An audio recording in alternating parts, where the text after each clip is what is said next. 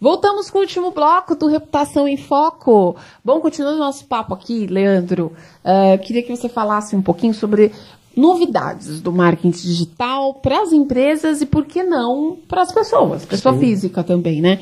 O que, que você vê que pode ser útil, né? Porque tem também um montante de ferramenta que está ficando no passado, como você estava falando, Sim. por exemplo, os aplicativos, né? Mas também tem coisa nova e nem tão nova, mas que ainda é muito útil. Sim, né? sim.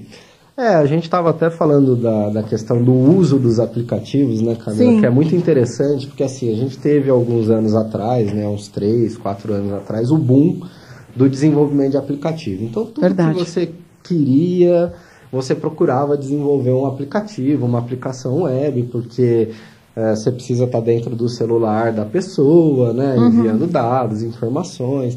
E a gente tem é, a utilização né, dos aplicativos é, mudando um pouquinho dentro do celular das pessoas, né? Tá. Então, tá.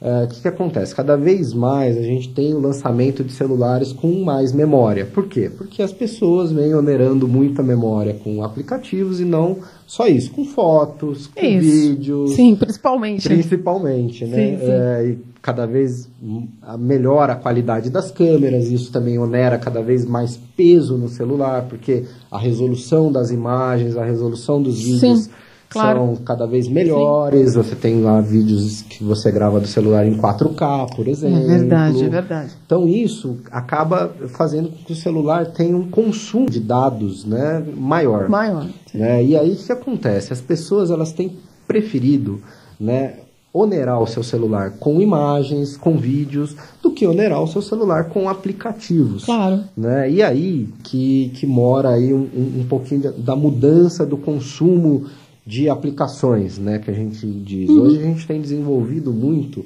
aplicações web, né, que você não precisa baixar tá. né, o, o aplicativo para o seu celular, uhum. ou seja, você não vai onerar dados, uhum. né, informações dentro do seu celular então. e você acessa essas, eh, esse aplicativo via web, via é, o seu navegador uhum. né, do celular. Então, com isso, você consegue ter uma usabilidade para a pessoa, né, uhum. para o usuário, né, para o celular, menos onerosa do ponto de vista de dados e você Sim. pode usar os seus dados de uma maneira, uh, vamos dizer assim, mais divertida, né? Então não precisa às vezes gastar, às vezes é um aplicativo que você vai baixar por conta de trabalho ou um aplicativo que você ah, vai momentâneo, baixar às vezes talvez, sim, sim. Então você acaba acessando isso no navegador, fazendo um, online. Online, tá. exato, pra, tá. e, e tem funcionado Legal. Né, melhor. Então é até um, um paradigma que a gente estava até conversando né, no intervalo que os sites né, que saíram de, de Pois é, de... né? Com o boom das redes sociais, muitas empresas deixaram o site estático, Exato. né? Puramente institucional, vamos para a rede, vamos para a rede, vamos para a rede. Mas agora com essas questões, essas novas aplicações e tudo mais, os sites estão voltando a ficarem mais gordinhos, né? Exato, né? Com blogs e, e, e, saques, saques e tudo mais. É, né? eles estão ficando cada vez mais é, robustos, assim, né? robustos e importantes dentro uhum. da estratégia digital. Uhum. Né? É algo que tem. É, eu lembro que alguns anos atrás, por exemplo, tinha, tinham agências como a África, por exemplo, que é uma das maiores agências do país, Isso. que desistiu de ter site. Você digitava lá África. Muitas agências desistiram e algumas empresas, sim. Exato. E agora não mais, né? A gente vê a, a volta dos sites como um componente ah, importante dentro da estratégia.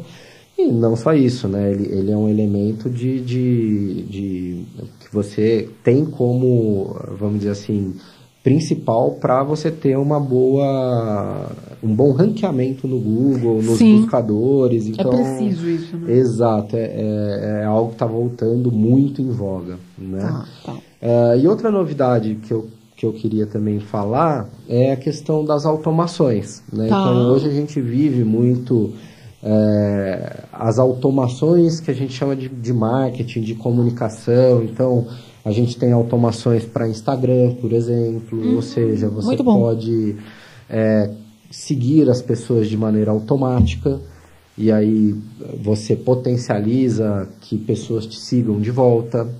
Você pode também fazer o mesmo com o LinkedIn, então você tem ferramentas que automatizam o seu LinkedIn Uhum. para que você possa seguir as pessoas, interagir com as pessoas e com isso aumentando o seu alcance, aumentando a sua Uhum. possibilidade de gerar negócios. Sim. E o principal, né, que eu acho que é algo que está muito em voga, as pessoas têm buscado muito com a gente, é a questão de você ter um- uma automação para inúmeros eh, processos de comunicação dentro da sua empresa. Vou dar um exemplo. por Se você é uma rede varejista, Tá. você quer dar ali o desconto para os aniversariantes do mês. Tá. Então você automatizar um processo de disparo de comunicação para aniversariantes do mês. Tá certo. Então você não vai precisar ficar pegando lá um a um os Todo aniversariantes. mês pegar assim. Exato, você vai lá, tem uma ferramenta que integra com o seu CRM e aí você automatiza um disparo de e-mail com uma oferta já pré-estabelecida. Então isso é uma automação que a gente usa Muito bom. muito para explicar o que, o que, que é essa automação de e-mail, automação de marketing que a gente chama. Sim, Então, no final das contas, a gente volta a falar de novo de integração, né? De, de, de eh, por exemplo, como você falou, tem um site bacana, tem um saque lá, daquele site está integrado com o CRM, por exemplo, dos clientes poder ter um login lá dentro, de quem tem, por exemplo, uma loja virtual poder ter um e-commerce. De novo, a gente está falando de integrações, né? E o, e o site está virando esse portal novamente que abraça, né? Abraça as- é, é o conceito do Big Data. Assim, dos dados, né? Do banco de Exato, dados. É sim. você, é, a partir né, de, de daqui pouco tempo, né, eu acho que as empresas que não tiverem né, as suas informações é, Integradas, integradas, né? né, Sim. e, é, elas vão acabar ficando para trás. Com certeza, absoluta. Porque você hoje, para gerar ofertas assertivas, né, você precisa entender o seu Sim. CRM, né? Você precisa entender a sua base de dados. Não adianta a gente. é, hoje a gente vive na era da personalização, Sim. né? E do imediatismo. Quanto gente, mais, melhor, né? a gente Sim. quer tudo para ontem, né? E para nós. E para nós. Então, 100% para nós. Exato. Se você vê algo lá que está muito distante daquilo que você Tá. gosta, daquilo, então você já pega um certo ranço da coisa, né? Sem dúvida. Então, é, é, hoje a gente vive na era da personalização, né? É aquela coisa, a gente tinha os processos artesanais, aí esses processos artesanais foram escalonados, Sim. né? Que, que veio lá a Revolução Industrial, que a gente Uhum. teve a escala de produção, né? E agora a gente volta um pouquinho para aquela coisa do artesanato mesmo. Então você vê pessoas, é, empresas, né? Que, que, que tem nichos na mão, que fazem determinada Ações. a determinada determinado produto que é para Sim. aquele nicho, que é algo muito personalizado, E querem conversar com aquele público específico. com aquele público. Usam até essa galera influenciadores, né? E tudo mais. Exato. Que, de novo, pessoas conversando com pessoas. né? Exato. Foi que você falou, ficou um pouco artesanal, mas agora artesanal com o banco de dados, né? Exato. É, Para ajudar, Exato. né? Não é? É aquela coisa de você ter né, o, a oferta para a pessoa mesmo, Específica. específica para a pessoa. Né? Então Sim, você sim. vai falar com cada indivíduo de maneira Diferente. personalizada, Exatamente. de maneira única. Não, né? claro. Então isso, a automação ajuda muito né, as empresas É. a, a terem essa personalização É. e não precisarem também despender de, de é, um tempo. Então você imagina que uma pessoa né, pegando na mão todos os aniversariantes do mês do seu Uhum. CRM, imagina o quanto isso não ia demorar. É, né? Na verdade, enfim, a gente está Acaba- pensando de aumento de performance, né? E aí, para aumentar a performance, você tem que diminuir a energia que você coloca e, consequentemente, o tempo que você coloca em determinada ação. E aí, a tecnologia, sem Exato. dúvida, está aí para ajudar.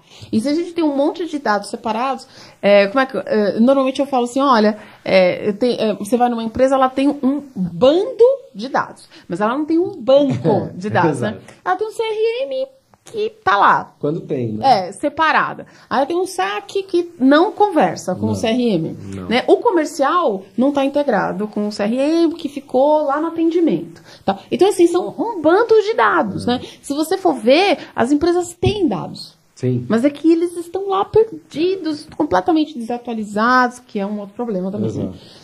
É, e separados.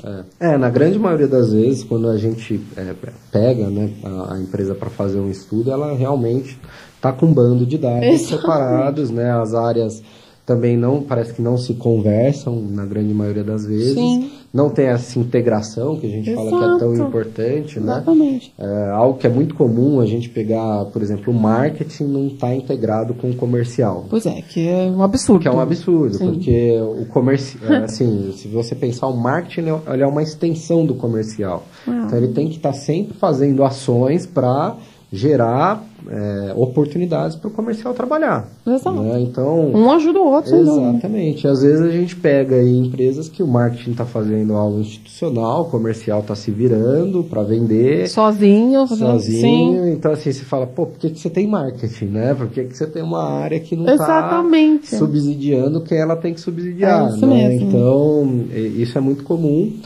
E estruturar os dados é muito importante para que você Sem tenha dúvida. ofertas assertivas, para que você possa fazer é, ações com influenciadores conhecendo de fato seu público. Né? Claro. Essa questão de influenciador é muito interessante porque é, a gente fala muito a respeito, né? a gente gosta muito do assunto, a gente vê muito né, essas blogueiras, Isso. essas influenciadoras, mas é aquela coisa, se você não tem uma proposta, né, um objetivo com esses influenciadores, você vai acabar gastando dinheiro sem ah, tem que dar tipo... resultado, né? Tem que ter um porquê, né, de convidar aquela pessoa. Exatamente. Para ter um porquê, você precisa conhecer o seu cliente, claro. você precisa conhecer a sua base de dados para você de fato fazer uma persona, né, identificar sim, quem sim, sim. são essas pessoas, né? Sem dúvida. Então, é eu acho que é, em geral, né, num, num geral, né, a gente pegando aí para falar de marketing digital, eu acho que é,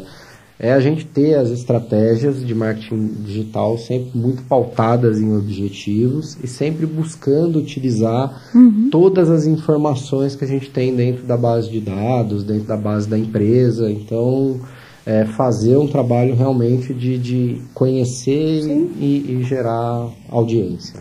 Pois é, Leandro, é isso mesmo. Eu espero que o pessoal tenha gostado do programa, a galerinha do Facebook que está acompanhando a gente, espero que tenha sido útil, né? E o pessoal que ouve o Reputação em Foco, que trabalha já com marketing, às vezes a gente sabe o beabá, mas fica difícil para explicar para o cliente. E o cliente também sabe, mas às vezes a, a, o dia a dia impede que a gente tire um tempo para pensar seriamente sobre esse assunto. Leandro, super obrigado. É, deixa um contato para a galera que quer tirar dúvida e falar Lógico, um pouquinho. É, o meu e-mail é atendimento, arroba hirocomunicacão.com.br. Uh, fica à disposição, minhas redes sociais é leandro.morano, tanto Facebook quanto Instagram. É, fico à disposição de vocês, o que vocês precisarem, contem comigo. Agradeço o espaço mais uma vez. Camila. Imagina, Leandro, que isso? E é isso. Espero lá, ter volte. ajudado aí com volte conteúdo assim interessante. Que possível. Claro, com certeza absoluta. E olha, galera, vocês que acompanham Reputação em Foco, o Patrick me falou que a gente vai acabar a Reputação em Foco com o Phil Collins dessa vez, né, Amandinha? Então, um beijo para todo mundo, boa semana, cuidem-se, tchau.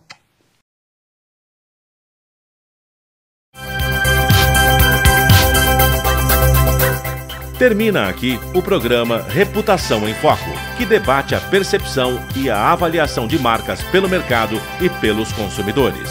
O programa Reputação em Foco é apresentado pela jornalista Camila Andrade todas as segundas-feiras, à uma da tarde, com reapresentações às terças, às onze e meia da manhã e às quartas-feiras, às seis e meia da noite, aqui na sua Rádio Mega Brasil Online. Um canal a serviço da comunicação. Yes.